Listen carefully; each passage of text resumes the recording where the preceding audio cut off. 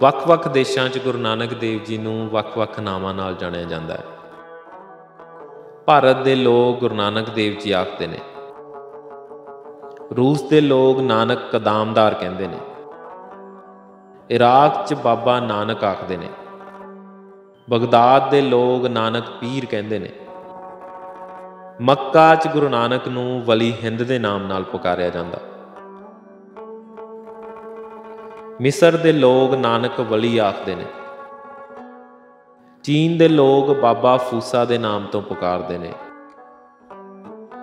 ਸ਼੍ਰੀਲੰਕਾ 'ਚ ਨਾਨਕ ਚਾਰੀਆ ਵਜੋਂ ਬਾਬਾ ਨਾਨਕ ਨੂੰ ਜਾਣਿਆ ਜਾਂਦਾ ਹੈ।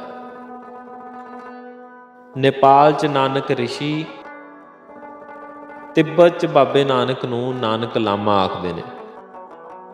ਸਿੱਕਮ ਤੇ ਭੂਟਾਨ ਦੇ ਲੋਕਾਂ ਲਈ ਗੁਰੂ ਨਾਨਕ ਦੇਵ ਜੀ ਗੁਰੂ ਰਿੰਪੋਚੀਆ ਨੇ।